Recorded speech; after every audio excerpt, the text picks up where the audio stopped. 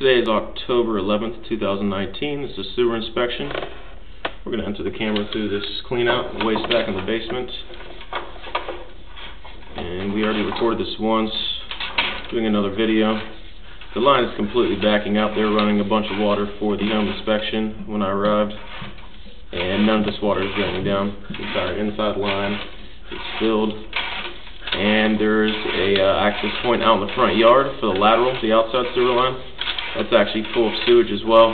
We're going to get very far past that.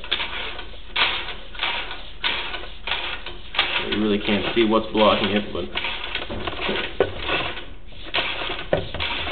should attempt to clear this line and camera it again.